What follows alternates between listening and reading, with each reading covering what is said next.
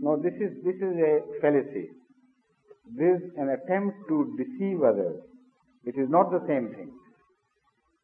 The water, when it is ice, the same mass of water when it is ice, it is not vapor, and it is not uh, uh, Water. water li- liquid form. It is only ice. So if there was a period in the history of God when he was son, then father should have completely disappeared. And they do not believe in that.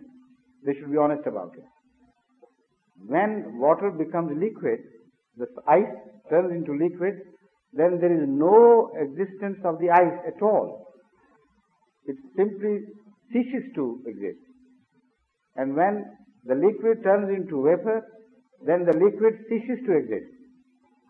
So, no, they believe this existed simultaneously. That is the fallacy about their the paradox in their belief.